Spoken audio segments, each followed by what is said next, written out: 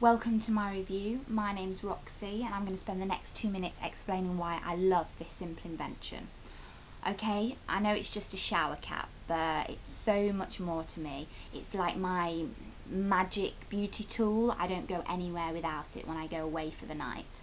Uh, the advantages of why I wear it is because I've got quite unruly hair so I can just pop it on, I can go to the shower, I can stay in the shower as long as I want without the moisture getting to my hair, but my hair getting wet and I can have as many showers as I want during the day.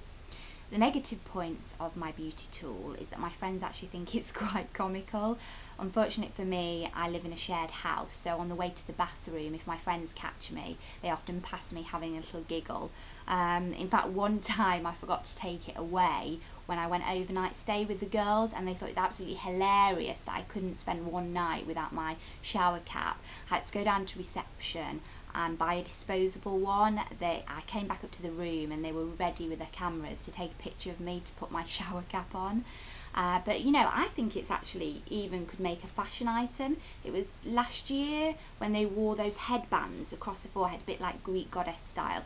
I don't know what that's all about, they're not even practical, so I really think my shower cap could make it. Uh, this is by far the best shower cap I have. I have a few shower caps, but this one's the most practical. Uh, it's got nice elastic, not too tight, not too loose. Uh, it fits around the head nicely, and I think the pink spots are really cute. Okay, so for the results, if I take my hat off, you can see that I have got quite unruly hair, but it's not gone frizzy. Okay, so that's my review. Thank you for listening. This is Roxy, and hopefully speak to you soon. Bye!